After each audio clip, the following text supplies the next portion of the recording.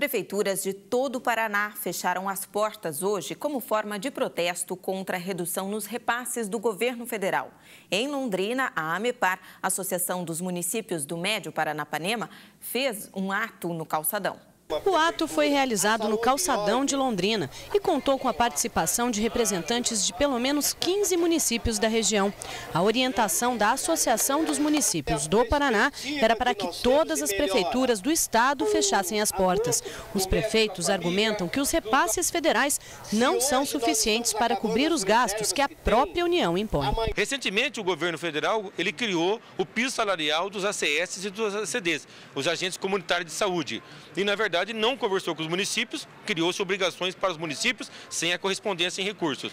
Recentemente, o governo federal criou a lei obrigando os prefeitos de todo o país a colocar dentro das salas de aula, em 2016, as crianças de 4 e 5 anos, mas também não se colocou correspondente em recursos. Então, é, fez isso, criando obrigações sem os recursos para os municípios poder pagar, mas também toma medidas, faz favor com o chapéu alheio. Hoje nós pagamos uma conta muito alta, né? E o governo federal não faz nada para melhorar isso aí. A Prefeitura de Londrina funcionou normalmente nesta segunda-feira, mas o prefeito Alexandre Quiref também participou do ato. Segundo ele, a distribuição dos recursos federais não é proporcional à arrecadação dos municípios. Hoje, para cada 10 reais gerados em impostos no município de Londrina, nove vão para o governo federal e apenas um retorna.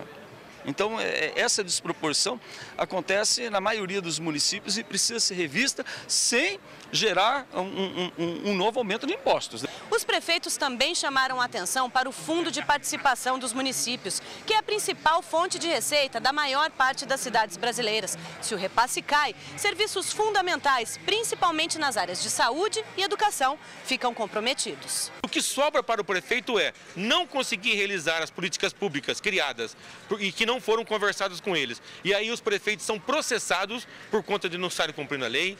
Os prefeitos acabam criando uma comoção na comunidade, uma vez que tem a lei, mas ele não consegue colocar essa lei em prática. E também cria uma comoção quando ele não consegue pagar as contas da prefeitura. É, a bomba explode sempre no, no município, né? É, é bom ficar claro que o FPM, Fundo de Participação dos Municípios, ele representa a maior fatia das receitas para as prefeituras pequenas. Não é o caso da Prefeitura de Londrina. Claro que ajuda também na composição. É que nas cidades maiores existem outras demandas que deveriam vir do governo federal e que não vêm. Né? Os municípios grandes, os municípios médios, tamanho né, de Londrina, por exemplo, deveriam receber mais dinheiro de quem? De que rubrica? Da rubrica da saúde da gestão plena que é de responsabilidade do município. Então, falta isso sim. Agora, com a queda na arrecadação do IPI, com a queda na arrecadação do imposto de renda e o governo federal mandando para o Congresso Nacional uma peça orçamentária que tem um déficit de 30 bilhões de reais, onde que vocês acham que eles vão tirar? Eles tiram do pequeno. Por que, que o governo federal faz isso? Isso não tem uma lógica apenas orçamentária, uma lógica técnica, isso tem uma lógica política. Por quê?